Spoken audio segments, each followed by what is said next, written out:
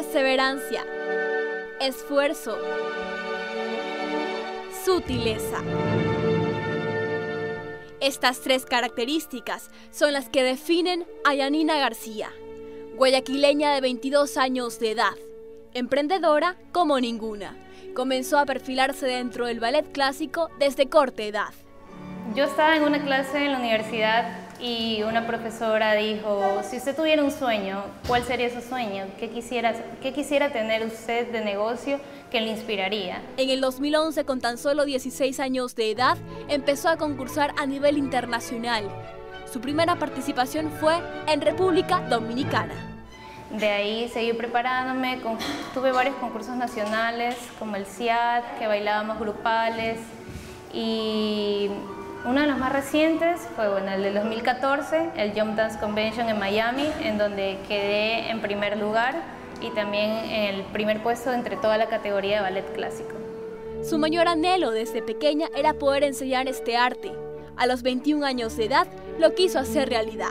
Organizar lo que es igual lo que es tu pasión y entender que también es un negocio y que, tiene, que implica ciertas cosas, funcionamiento, tener planes de de, respaldo por si algo pasa.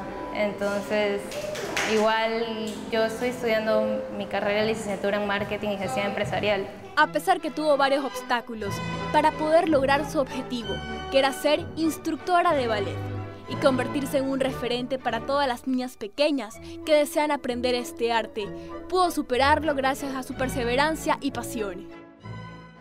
Bueno, yo creo que la verdad que si alguien tiene alguna pasión, ya sea por la danza o por cualquier otra cosa, eh, si se propone hacerlo y llevarlo a cabo, lo va a lograr, porque a la final te vas a sentir feliz porque estás logrando lo que tú quieres y también es un negocio.